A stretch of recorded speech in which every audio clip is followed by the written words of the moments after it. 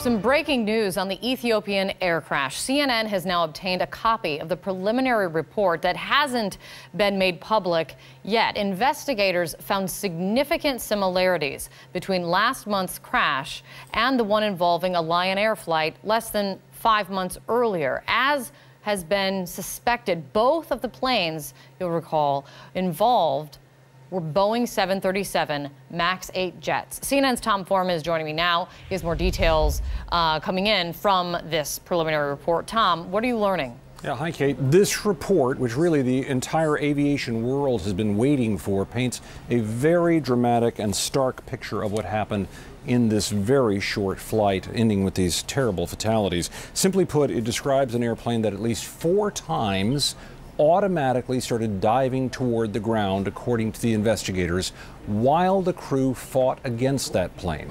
They say that time and again they were getting erroneous readings about the angle of the plane. There were also some fluctuations in the indication of the airspeed and the altitude of the plane. In some cases, different readings from different sides of the plane, and the whole time the crew was trying to fight it. In fact, there is evidence that uh, at one point they were able to pull back together. They started pulling back together. The captain asked the first officer to pitch up together. They both did and said the pitch was not enough. They were both pulling back numerous times in this flight, trying to overcome this. There's also an indication that they did manage to figure out what the problem was.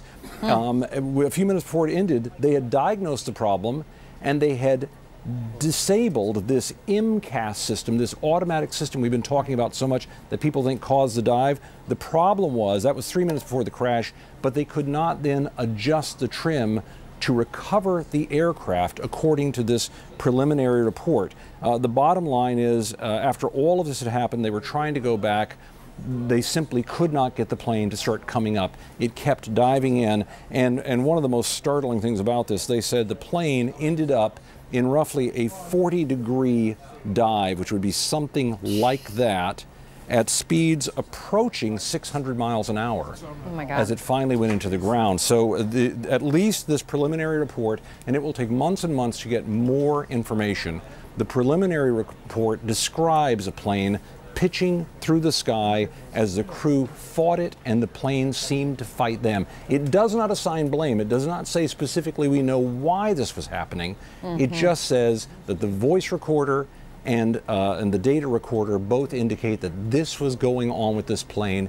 It started right after a normal takeoff and ended with the loss of all of these lives. Kate and significant similarities between this, what, what, happened to this plane, these final moments, and the final moments of the doomed Lion Air flight just less than five months before that. And yeah, it, it, certainly looks that way. And again, yeah. we have to get the final result. This is just a preliminary finding. It assigns no blame right now, but this certainly paints a very dire picture. Wow, that pitch, that airspeed, that's terrifying. Tom, yeah, thank you so much. I really appreciate You're it. Welcome. This coming out in this preliminary report. Excuse me, joining me right now uh, is Peter Goelz. He's a former managing director of the National Transportation Safety Board, part of the international team um, the NTSB is that is trying to figure out exactly what happened in this flight. Uh, he's now a CNN aviation analyst. Peter, thank you so much for coming in. What do you make of this, these the, the findings coming from this preliminary report as Tom was just laying out? Well, first, it's, it's really good reporting that uh, we were CNN was able to get that report because up until now, all we had was a long tweet and a press conference from uh, the Ethiopians. But what the report does is really turn the spotlight back on Boeing and on the FAA's approval process. Uh, apparently, these pilots knew what to do, and that that really coincides with everything I've heard about mm-hmm. Ethiopian uh, Airways training. These pilots knew what to do. They diagnosed the problem. They did it by the book, and it didn't save the aircraft. That really uh, uh, throws this investigation uh, into a turmoil because there is, unless they can identify a maintenance issue with the angle of attack indicator or something with the airspeed indicators, this is going to be a very daunting investigation. Yeah, I mean, and it, it, does. I mean, you of course immediately go to what if these pilots diagnosed the problem, did everything that they were supposed to do by the book, Um, but again, it's I mean it's six minutes, six minutes of terror for these pilots and everyone on board and what they're dealing with. What does this say about the safety of these jets and also the fact that uh, you know you've got them grounded worldwide right now?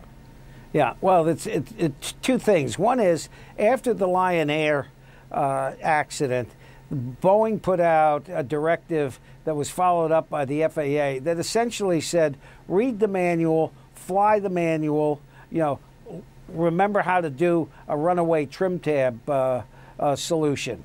And, and that was their answer to, to, to Lion Air. This now says, well, even if you did that, it didn't save them. And it puts them back on the spot to come up with a new uh, software and new pilot response that's going to have to be fully vetted. And frankly, uh, the FAA is going to have to reestablish their credibility with the world's aviation organizations to say, we've looked at this in a rigorous way, we think it's safe. It's going to take some time. Yeah, I mean, I, I was going to ask you that, Peter. What's it going to take? Because right now, that trust is shaken, to say the least. There's no question. I mean, you know, there, there was speculation uh, after Lion Air that it would be, you know, uh, they'd have the fix in a couple of weeks. After, uh, even after the Ethiopian Airways tragedy, they said, well, we, we, we've got the fix coming. We're going to make it, uh, you know, a, a little more in depth, make it less severe when the nose goes down. That clearly is not enough. They're going to have to go back to the drawing boards and rethink this entire MCAS system. Well, as Tom Foreman points out, this preliminary report does not assign blame, but the spotlight very clearly not shifting away from Boeing at this moment. Peter, thank you so much. I really appreciate it. Thank you.